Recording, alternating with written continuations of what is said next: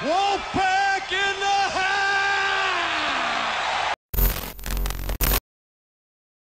These videos are satiric reviews. You don't have to agree, but don't bitch about it.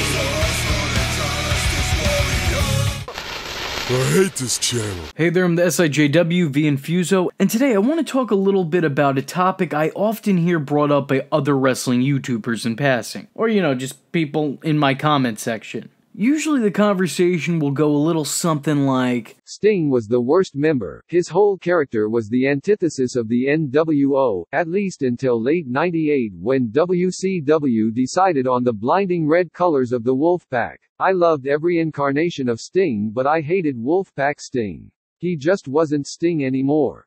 The worst, Sting in my book was the worst. I honestly stopped cheering for the NWO when he became a member.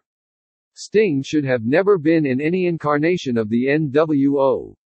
Sting was awful in the NWO. PS 911 was an in- It's still blasphemy to most people that the icon threw up his too sweet sign and entered alongside the likes of Macho Man Randy Savage and Kevin Nash. So I guess my question is was it was it really all that bad? Let's recap.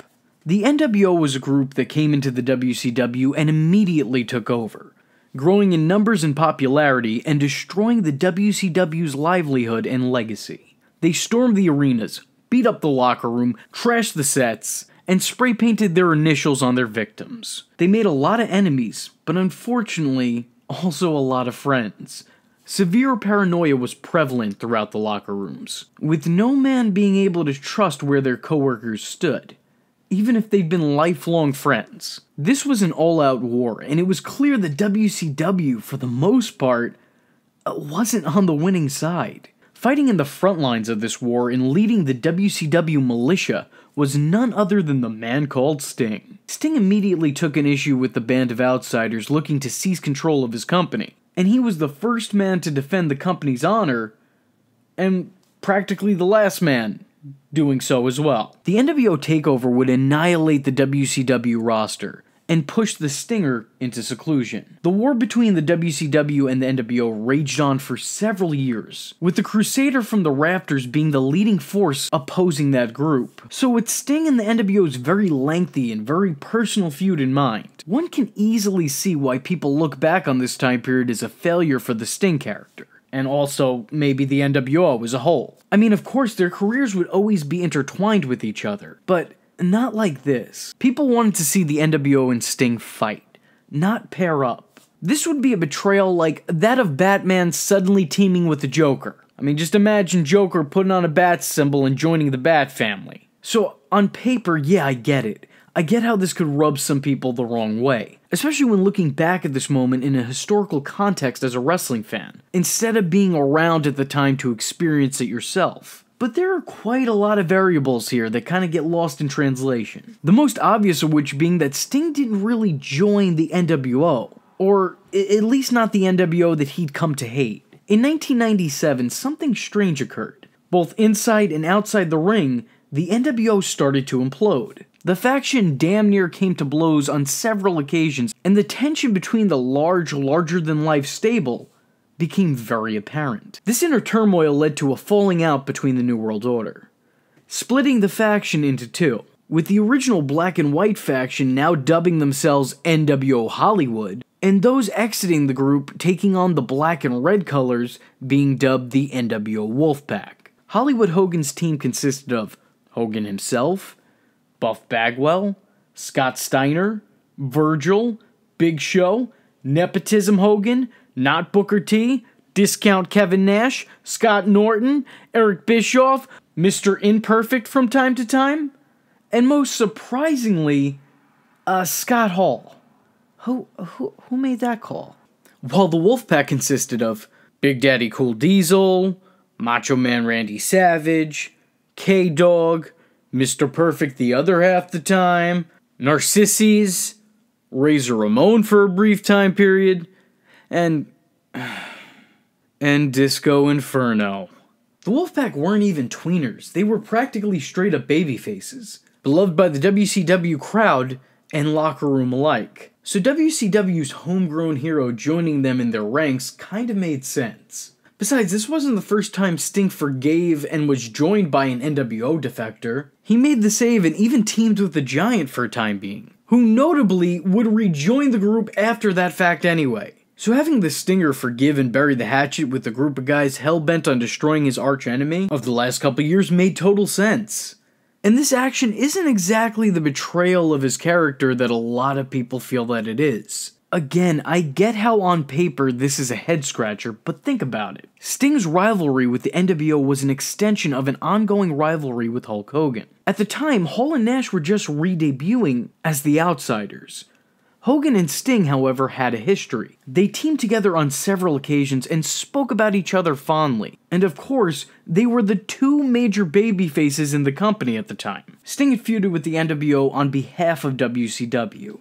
But his major issue had to boil down to a trust issue with Hollywood Hogan. Not to mention that throughout their lengthy rivalry, it was the two icons in black and white that were going head to head constantly. So honestly, I really don't get the controversy over this booking decision. I think it'd be real blasphemy if he teamed up with Hogan like originally teased. And while opinions seem to be either mixed or close to entirely negative looking back in hindsight, make no mistake, this at the time was met almost entirely with a positive reception. I mean, just listen to that pop from the audience when he finally revealed whose side he was on. Hogan, Hogan. No, he it. Sting is to send it. to him! Takes off. Sting. Sting's got. He's got the red and the black. Sting. He's joined Nash. The people immediately took a liking to the pairing of Sting and the Wolfpac, getting a reaction that rivaled that of the Road Warriors or Austin in his heyday. Sting's stand as the lone avenger of WCW, taking on the ongoing threat of the NWO, was really a year plus feud. Sting didn't speak, didn't really make any audible sound, didn't even care to sell at the time, didn't make a peep for a full year. He also uh, didn't wrestle. He instead spent all his time stalking his enemies and taking them out strategically during in ring promos or on occasion saving a wrestler from an NWO beatdown. Before sending back to the rafters of the arena, and then presumably probably went to his local Hot Topic and bought his next trench coat. And while all that was really innovative for the time, I kind of feel like it ran its course. There was only so long that the guy could stay over without speaking or actually getting in the ring. So, following their big match at Starcade, Sting slowly but surely began to become more humanized over time. He began speaking, he began cutting promos, he began wrestling wrestling matches every Monday night. The man who joined the NWO wasn't the silent symbol who stood against them. And the NWO that he joined wasn't the same supergroup that once terrorized his life and destroyed his livelihood. It was kinda nice to see him suddenly be able to sustain friendships and goof off on occasion. He fit in with the rest of the group pretty well and almost always looked to be enjoying himself. And by extension, we, the audience, enjoyed watching him. I feel like his time with the Wolfpac also helped him get back to his roots as a fun loving babyface. The promos he cut were filled with that same passion and fire as in his glory days. Except now they were a lot less lame. I, I, I mean, still lame. They, they were still lame, but you know, nothing compared to, to, to this. You told him to stick it. No. You stick it, Hulk. Outsiders, I got an inside scoop. I'm not one for reading horoscopes or anything, but I just so happened to be thumbing through the pages in the paper the other day. One for a Leo. real bad day for Leos. That makes both of you guys Leos, yeah. Sting's new relationship with the NWO Black and Red was entirely symbiotic. He helped the Wolfpac out from a point of popularity. He helped legitimize the stable as a legitimate competitor to the original NWO. And the Wolfpac helped really reinvent and further evolve the Sting character. In this respect, he was a great addition. And I don't get why he gets all this flack he gets for his time in the team. I don't think he's anywhere near as bad as his buddy Lex Luger or Disco Inferno. I'm not gonna get over that. They put Disco Inferno in the NW. Who the fuck? In my humble opinion, Sting played his part, and he played it fairly well. Eventually, NWO Hollywood and NWO Wolfpac would reconcile, with Sting, of course, never returning to the group. Of course! Well, let me tell you something, brother. You're watching the Social Injustice Warrior Vee Infuso's channel, dude. So if you like the words that came out of his mouth hole and you too want to become a V-tard, don't forget to like and subscribe and click that little bell icon to get updates and notifications. Ooh, tell him what up, Mach. Ooh, yeah. Follow the man on Twitter, yeah, because we all know it's not stalking if it's on the internet, yeah. Join the madness by joining the Discord. And if you have a moment of time and a free dollar to spare, head over to the SIJW's Patreon, dig it, where you can request videos, get exclusive videos, and early access to content. Yeah. Or go down to PayPal where you can buy the shirts, brother. But most importantly, just remember if you're not tuning in, then you're, missing, out.